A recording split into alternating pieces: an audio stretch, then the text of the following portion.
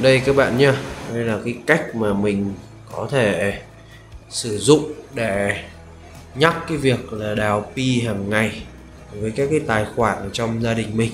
Thì đây là một cái bộ uh, hẹn giờ ở trên bất kỳ một cái máy tính hay cái máy tính ờ, hay cái điện thoại máy tính bảng nào.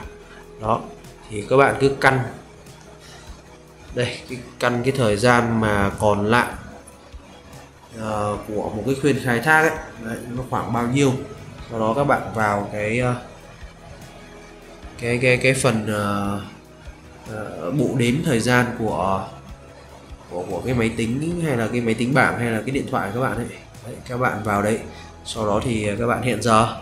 Và chờ khi bao giờ nó ừ, gần hết cái thời gian mà trên trên cái bộ đếm của cái app đào ấy thì cái này nó sẽ báo thức. Các bạn để cái thời gian báo thức nó sẽ thấp hơn ít hơn cái thời gian uh, trên cái cái uh, app đào nhé.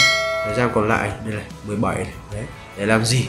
Để mình biết được mình vào chờ sẵn để kích trước. Đó. Đây là toàn bộ những cái tài khoản của gia đình mình đấy. Đó thì xin chia sẻ với các bạn như vậy. Cái cách mình uh, nhắc cái việc đào hàng ngày. Ra thì một mình mình đào thôi cho cả nhà. Đấy, cái tài khoản này mới được KIC này sau 3 hơn 30 phiên à, khai thác tài khoản ít ít pi nhất nhưng lại được KIC sớm nhất. Đó các bạn xem rất là buồn cười. Thì thôi hên xui thôi những cái tài khoản khác thì chờ thôi các bạn ạ.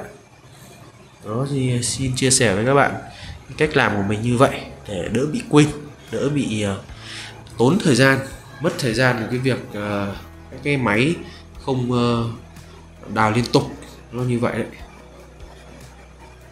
Duy trì cái việc khai thác nó được liên tục, thường xuyên nhất.